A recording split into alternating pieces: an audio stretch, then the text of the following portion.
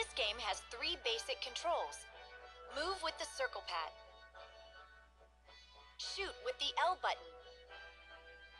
And aim with the touch screen. And that's it. Move. Shoot. And aim? How do I do that?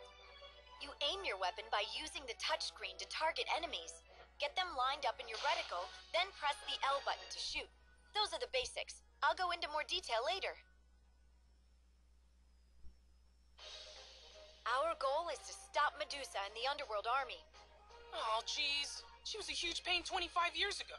That was only in two dimensions. Even so, we can't ignore those who threaten the Earth and the heavens. We are here, in Skyworld. But the Underworld Army is wreaking havoc on Earth. Yes, but don't worry. I have created gates that can take you near our targets. However, we should discuss your flying issue. I know, I know, I can't fly. Don't remind me. Oh, no need to get upset. You see, I'll be granting you the power of flight. Uh, what's that? It'll keep you airborne, although only for about five minutes at a time. That's amazing. Exceed five minutes, and your wings will catch fire and burn off. That's not amazing. To keep this from happening, I control your flight path. Fine by me. That lets me focus on attacking and dodging. When the power of flight runs out, you'll have to fight on foot. While on the ground, your job is to seek out the boss and defeat it. Can't you just fly me over to the boss? Sure, if you don't mind your wings on fire. I mind. Also, as you make your way forward, wipe out as many enemies as you can. Each of your missions begins with an air battle. Knowing that enemies can fly and I can't hurts even more than their attacks. Moving right along, Like a flying thing does. you use the same three controls in the air moving, shooting, and aiming. Move with the circle pad and aim the reticle using the touchscreen. You move and aim at the same time. What do you think? Can you handle it? Of course I can handle it. Anyway, try using the circle pad to glide around in a loop. Moving even a little makes you harder to hit.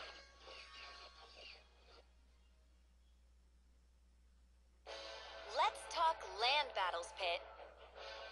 Uh, this area looks like a dead end. Try facing left. To do this, you slide the stylus to the left on the touchscreen. Whoa! You can also use the touchscreen to spin your view around. So I can quickly change the way I'm facing by flicking the stylus. And you can tap the touchscreen to stop. Huh. It's like spinning a globe and stopping it with your finger. To boil it down, flick the touchscreen to change the direction you're facing. And then I can slide the circle pad forward to move in that direction. Right. Speaking of moving, you know how to dash, don't you? Nope. Quickly flick the circle pad in any direction to dash that way. Hold it to run.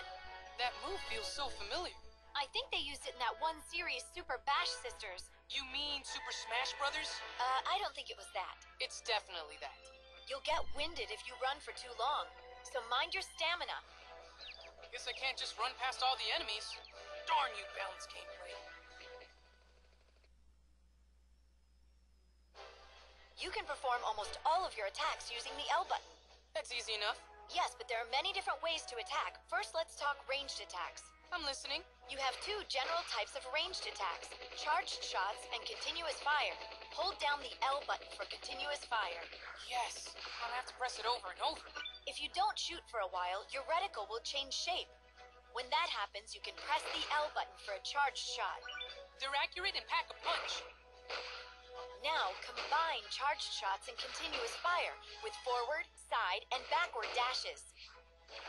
Oh, that's a lot of possible ranged attacks. Eight different ranged attacks to be precise. No way. The punishing force of the forward dash charge shot, the evasive power of the side dash charge shot, the unique strike of the backward dash charge shot. Think I need a strategy guide. Just be patient, you'll get the hang of it. Also, when you get close to an enemy, press the L button for a melee attack. Close in on it and strike. When using melee attacks, try tapping the L button repeatedly. This will let you perform melee combos. Prepare for a beatdown, baddies! My, aren't we manly? Hey, thanks. Oh, and don't forget melee dash attacks. They're also quite powerful. Pit, remember that the best defense is not getting hit at all. Agreed.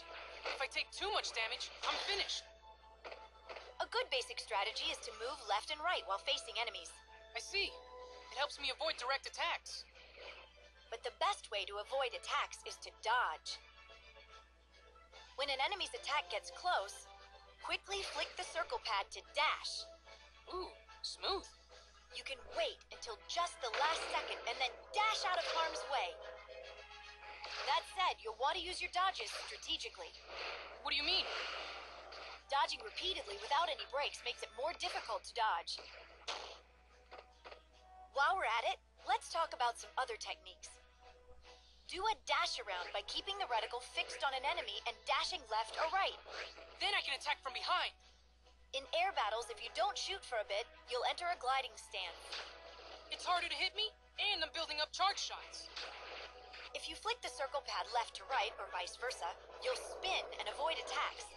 So I'll lure homing shots me one way, then fake them out and zoom the other way. Remember, Pit, you won't be fighting alone out there. You're going to send me a machine gun robot girlfriend? No, I'll be guiding you on your journey. That's manager speak for fighting alone. Anyway, let me explain powers to you. Sounds wicked. You'll notice icons like these in the lower left corner of the touchscreen. Okay? You can use these in battle for different effects. Just tap the icon with the stylus. Cool. Now that's power. I've created a wide array of powers for you, Pit. How do I know which ones to use? You can equip powers when prepping for battle, so try out different configurations. However, you'll have to take into account a power piece's size and shape. Power pieces, huh? Cool. Looks like all that Dr. Mario's about to pay off. Arrange the power pieces as you like, then tap autofill, and I'll fill in the gaps for you. Once you're in a level, you can select and use powers with the plus control pad. So I'll press left or right on the plus control pad to choose a power, and down to use it. Whenever you defeat enemies, you receive hearts. Then I can redeem the hearts with you for weapons, right? Hey, I guess hearts are a lot like money. Well, they both make the world go round. I thought that was love. Anyway, you're probably wondering how you can get even more hearts. Oh my gosh, that's exactly what I was wondering. And you want me to tell you. Two for two! Before a battle, add hearts to the Fiend's Cauldron to increase the battle's intensity. Of course, this will make enemies much harder to handle. I don't get it. Why would I spend hearts to make battles harder? Because with greater challenge comes greater reward. You won't earn many hearts if you always play it safe. That's a good life lesson, too. The higher you raise the intensity, the more hearts you can earn. And that's not all. You'll also earn better weapons on higher intensities. What a dilemma. But if you're defeated, hearts will spill out from the Fiend's Cauldron. You'll lose those hearts forever, although the intensity will lower a bit. Oh, I see. So I should try to strike a balance. The more hearts left in the cauldron, the stronger the weapons you've acquired will be. So to get stronger weapons, I have to bet more hearts and avoid spilling them. Of course, you can always lower a chapter's intensity if you're having trouble. Just keep in mind that this also costs hearts. The road to riches is paved with careful choices.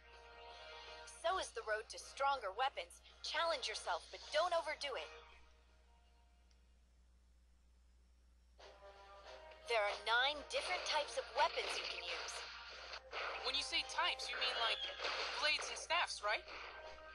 Exactly, but even within a given type, there's a huge variety of weapons. So many ways to beat down enemies.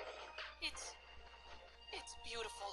Also, two versions of the same weapon will often have different properties. How is that possible? For example, two first blades could each have different weapon modifiers. So every weapon can be completely unique. But what do I have to do to get stronger versions of weapons?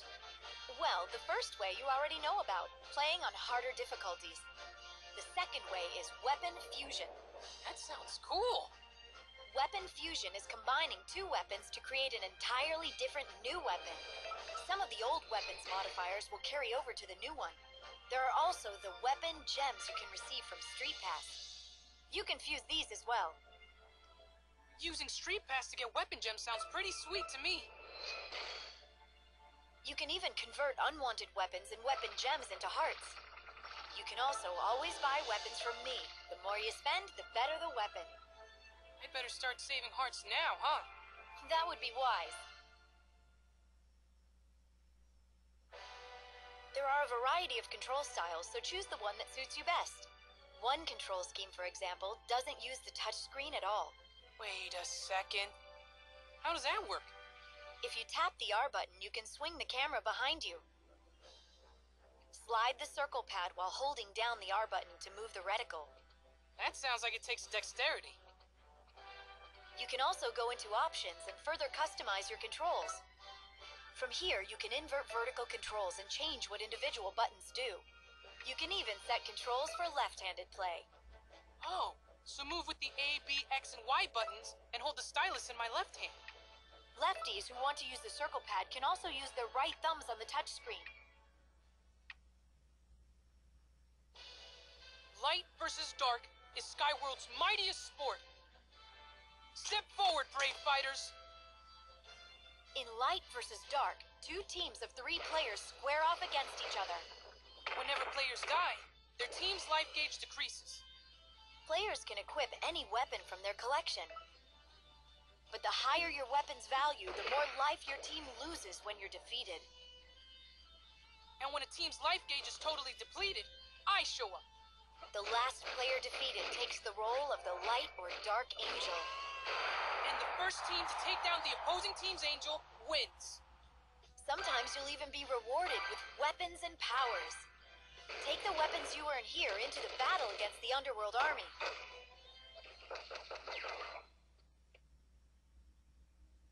You are now armed with the information necessary for battle. My brain feels bigger already.